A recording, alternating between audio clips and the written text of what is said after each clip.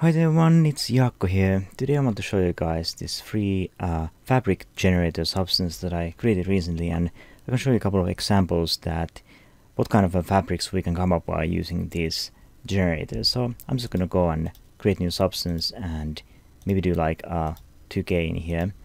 I'm gonna use the uh, normal physically based metallic roughness as a base and so on. And then I have loaded the SBS file in here. I'm just gonna drag and drop this this in here. You can also use the SBSAR, whatever you like. So now we have this basic fabric uh, pattern that it uh, outputs by default. So uh, the, well, I think the easier is that easiest way to to approach this is that I'm just gonna put some values in here. Do some like maybe some beige fabric might work. So do something like uh, something like that and plug those values in there maybe copy this and do grayscale and then copy this again. So we have something to input and I'm gonna drag this one to the roughness because well fabric is pretty rough so maybe that could work as a value and maybe we can use this as a base for our normal. So I'm just gonna uh, do like uh, well uh, maybe it's better I'm just gonna do like normal uh, color in here.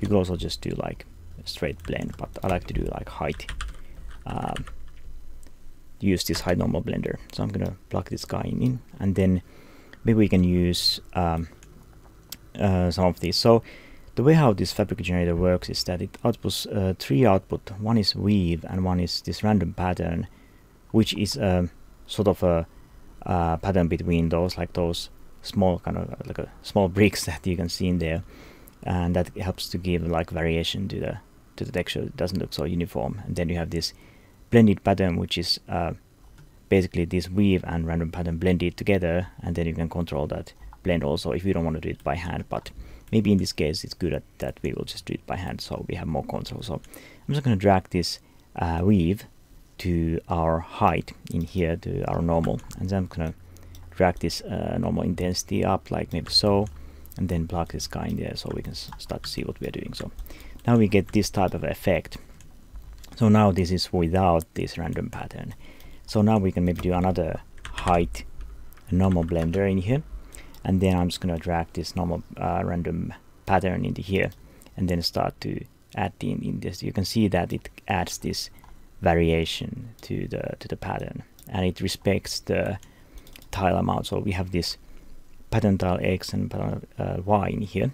And then if we just do like, uh, let's say 10 and 10, you can see that we we we drastically uh, changed the well this is like way way too look at basket like basket yeah. So uh, maybe we can do like I don't know uh, 17 here another 17 here.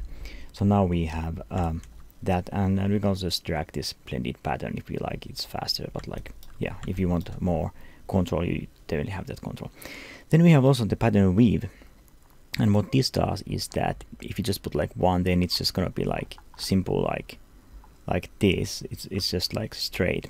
But then if you do the weave you get this weave pattern which is very uh, fabric typical for all kinds of fabric. So you have like three in here. Now it looks little even looks like it's coming a shirt. And then you can do more if you like. So you have this control in here. So it's very simple. Uh, yeah I think you guys can get the idea what's possible with this. So then we can maybe do uh, some coloring. So do like gradient mapping here, and then I'm going to do this. Uh, in this case, maybe just do the blended pattern and and assign some colors in here.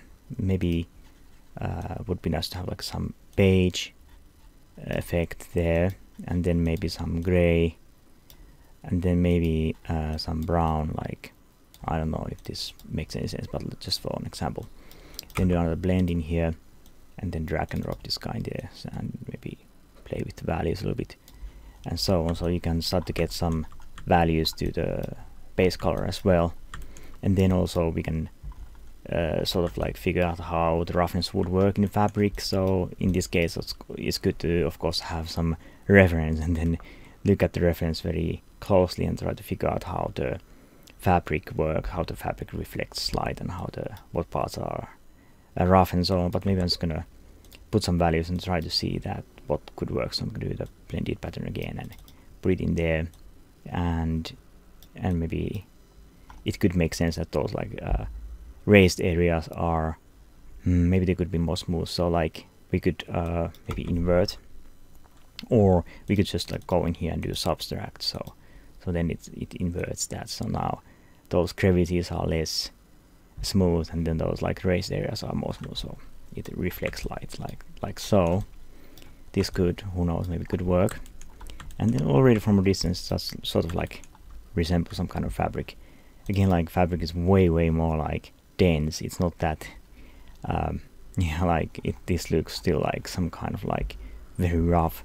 So maybe we really need to get in here and increase that maybe to like 120 and so on. So we get that, and you can still see that even like we are so like um, now it's already like really very the pattern is very very small. We we don't have like too too much of a like tiling in here. We have like a little bit of that effect where we have to like like a how how do you call that kind of cross uh, but but it's it's it's still like we're still like fully random so if we look at this you can see that this is there's nothing that repeats it's still unique texture that we have so we are outputting a unique texture so now if we really want to go further and more further than that then we can start to do the tiling from here go and uh, do some tiling like two and so on. So already at this point it really doesn't matter that much. And then you of course you have another details and maybe have a pattern on top of this and so on. So so this uh, fabric should um, should work uh, pretty decent I think. And there's many ways you can use this to create a different type of uh, fabrics and materials to your project. So I hope you enjoy this free fabric generator substance and just grab that from my Gumroad and also check my other products also other free substances as well. So check those out. So this was Jaakko I hope you enjoy. Uh, I'll see you around. Bye bye